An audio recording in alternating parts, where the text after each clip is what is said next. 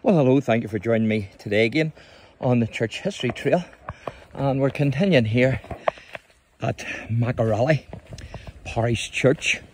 And earlier I'd done a few videos on the old church. And so where we're heading now is we're walking down to the new church. And of course the old church was abandoned and left roofless in 1886 whenever the uh, new church was built, which of course is known as St John the Evangelist. And the first, or the rector, sorry, in 1892 was the Reverend George Meade, and in 1910 it was the Reverend R. Quirk. So, uh, just going to take you down now and show you the church.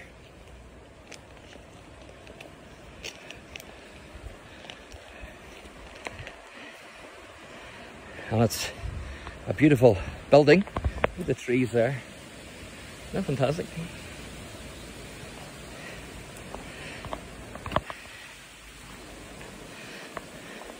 And of course this takes you down to the manse. So this is the church here and there's a few visitors here today and you'll see who they are in a wee second.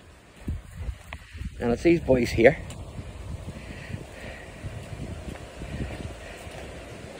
So it is the sheep.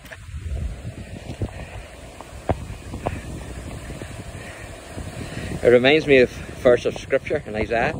All we like sheep have gone astray, turned everyone to his own way, and the Lord has laid on him, on Christ, the iniquity of us all. So this is the church here. Quite a magnificent building, isn't it?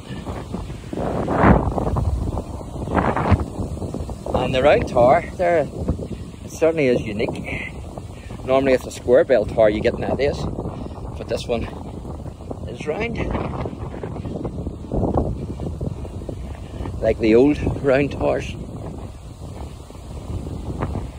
So the sheep's eating the grass.